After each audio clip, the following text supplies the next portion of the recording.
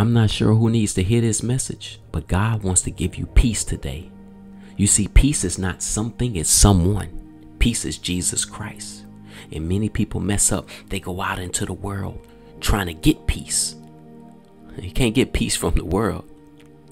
They say, maybe if I get a little more of this, maybe if I get more money, I get peace. Maybe if I get this, maybe I get that. Only to go out there and get it and realize something. Man, I still feel empty. Because there is a void right here that only God can feel. There's only peace that God can feel. And the enemy, he trying to rob you of your peace because that's your most valuable possession. If the enemy can rob you of your peace, then he's got your goods. The Bible says the enemy comes to steal, kill, and destroy. He come to steal your peace. He come to kill your hope. He come to try to destroy your focus. When a thief breaks into somebody's home, it's not after the ink pens or the pencils, you know, or the or sandwich or ravioli or Cheerios. It's not. It don't want that little stuff. A thief is after the most valuable possessions. It's looking for that diamond watch. It's looking for the diamond ring. It's looking for that uh, uh that chain. It is looking for the most valuable things of the house. And then it's gone. And in that same way, the enemy's after your most valuable thing, which is your peace. So you gotta learn to hold on to your peace like this little reindeer dude. Whatever this thing is my daughter be playing with. This little dude got Velcro, man. He holding on to this peace. You gotta be relentless about your peace. Somebody call your phone with negativity? okay, all right. okay, cool, all right. Thank you. I'll talk to you later. And you say, I, I, I, I ain't letting it get into my spirit. No, I'm guarding my peace. I'm protecting my peace because I know how valuable it is.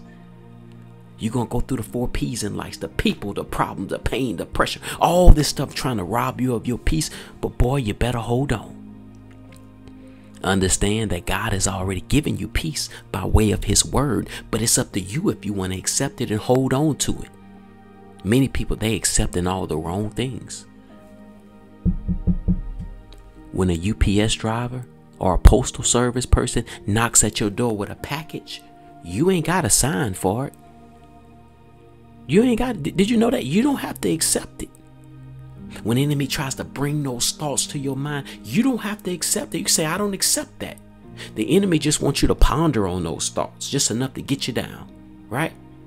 Many people they may not accept the, the package at the door, but they'll sit there and look at it and consider it. No, no, no, no, no, no. No, nah. Don't accept it. See me when a box comes to my door, I look at it. I say, "Oh, hey man, you got the wrong address. I appreciate you for stopping by, though. I think that's about ten miles that way, on the other side of town. In other words, get that away from here, cause it's only peace that's coming through here. Cause I understand I got my peace and I'm guarding my peace.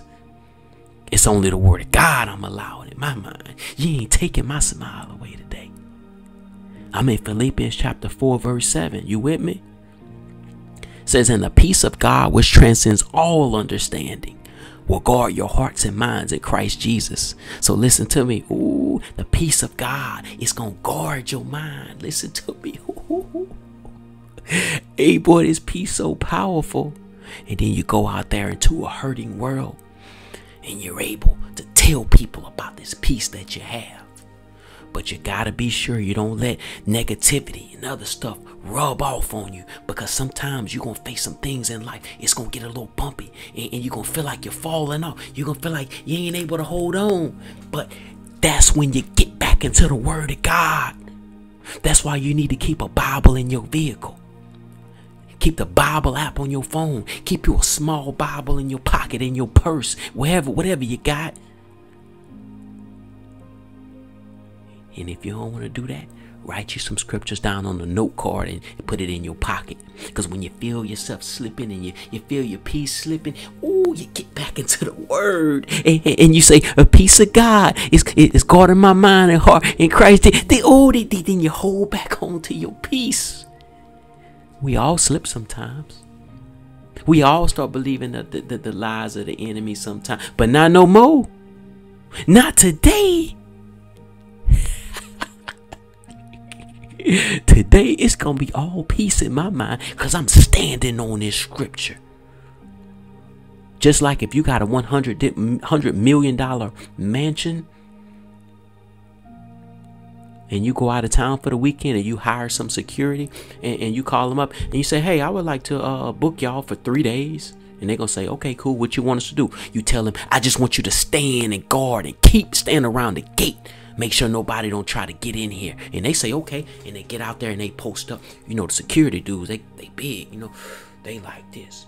But understand today, the word of God said the peace of God which transcends all understanding will guard your hearts and minds in Christ Jesus. The same way them security dudes guarding that big mansion. That's how God has his angels guarding your peace today. And see when you when when when, when you see them them big security dudes out there guarding your, your your mansion, you smile from your rooftop. Smile from your when God's guarding you with that peace today from the enemy. Smile about it. In other words, if you're happy, notify your face. Many people walk around talking about, I'm happy, I'm happy, I'm happy. Well, did your face get the memo? See, a smile doesn't just jump on your face. You got to put it on. You got to get in front of the mirror. And, ooh. Eh. Some days I wake up, man, I'm not feeling it, but I got to put that smile on. And say, This is the day that the Lord has made. We shall rejoice and be glad in it. Not, not I'm going to think about rejoicing. No, no, no, no, no. I'm going to rejoice and be glad in it, and I'm going to choose peace today. And I'm holding on to my peace today. And if you call my phone with negativity, I ain't going to answer it, player, because I'm guarding my mind today. I love you so much. If you made it to the end of this video, I need you to hit that like button. Then I need you to comment the words, I choose peace today. Because that's right. you going to choose peace today because peace is yours. I love you so much. I'll see you on the next video.